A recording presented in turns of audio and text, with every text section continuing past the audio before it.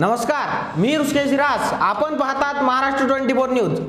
चार महिन्यांपूर्वी शेतातील धुऱ्याच्या वादातून महिलेला विहिरीत ढकलून देणाऱ्या आरोपीस अटक दिग्रज तालुक्यातील वरंदळी येथील एका शेतातील धुऱ्याच्या वादातून एका चाळीस वर्षीय महिलेला विहिरीत ढकलून दिल्याची घटना घडली होती.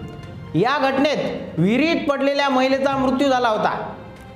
भीमराव चंदू राठोड असे अटक करण्यात आलेल्या आरोपीचे नाव आहे. भीमराव राठोड व त्यांच्या शेताला शेत लागून असलेल्या मृतक जनाबाई रोहिदास राठोड राहणार वरंदळी यांच्या धुऱ्याचा जुना वाद होता.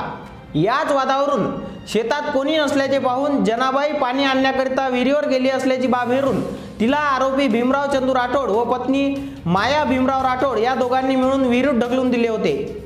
याबाबत नातेवाईकांनी दिग्रज पोलिसात दिलेल्या तक्रारीवरून पत्नीस पोलिसांनी वेळीच जेरबंद केले होते. मात्र आरोपी भीमराव हा फरार होता.